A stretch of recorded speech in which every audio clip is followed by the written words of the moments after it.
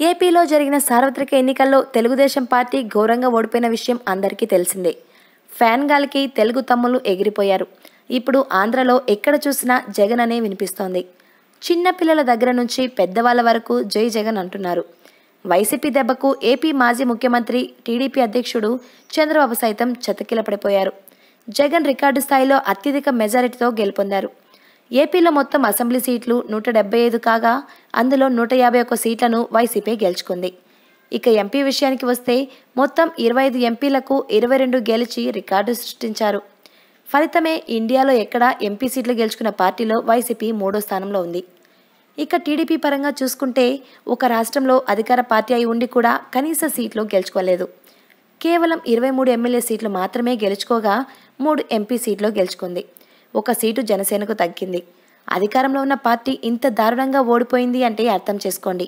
ఆ పార్టీ మీద జనాలకు ఎంత వ్యతిరేకత ఉందో తెలుస్తుంది. ఇక్కడే టీడీపీకి అసలు సమస్య మొదలైంది.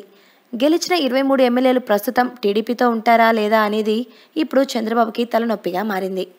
తాజా సమాచారం ప్రకారం కొంతమంది బీజేపీలో చేరుతారని మరికొందరు వైసీపీలో చేరుతారనే వార్త ఎక్కువగా వినిపిస్తోంది.